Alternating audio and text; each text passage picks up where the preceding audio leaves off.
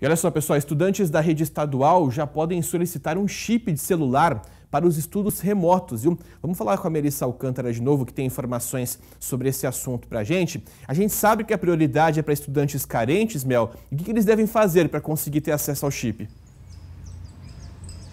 Casa Grande, os estudantes devem acessar o site sed.educação.sp.gov.br e no site fazer o pedido. Como você disse, os alunos mais vulneráveis vão ser priorizados, observando aí os critérios do CAD único. 500 mil chips foram disponibilizados para este programa, que tem aí como grande objetivo diminuir as desigualdades no sistema ensino-aprendizado estão escancaradas durante essa pandemia. E os estudantes vão sim receber os chips para facilitar o estudo deles, para que eles tenham acesso à informação, às aulas, mas a Secretaria de Educação tem meios para acompanhar que forma os alunos estão utilizando esses chips, porque eles devem aí todos os dias ter um período mínimo de estudo, que é o trabalho da secretaria acompanhar se isso de fato vai acontecer. Casa Grande.